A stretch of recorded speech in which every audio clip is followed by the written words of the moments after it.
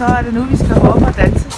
Men jeg synes også lige, at I skal se de her bamser, der er i vinduet.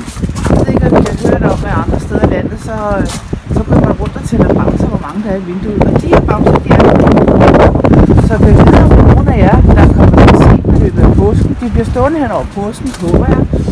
Så jeg kan kigge på dem og tælle dem. Jeg ved ikke lige, hvor mange der er.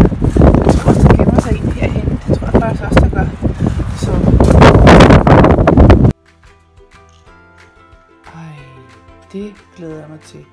At bare sidde og slappe af. Det ser ud som om hun er i biografen, men det kommer jeg nok ikke. Nej, det kommer jeg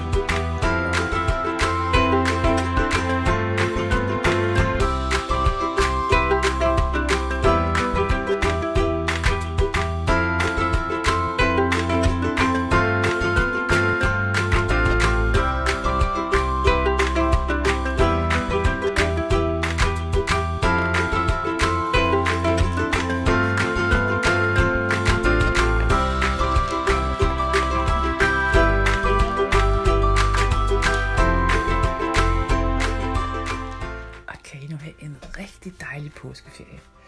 Kys og kram hinanden og pas godt på hinanden. Jeg savner jer. Jeg håber, at vi snart ses igen. Ha' det rigtig godt. Hej hej.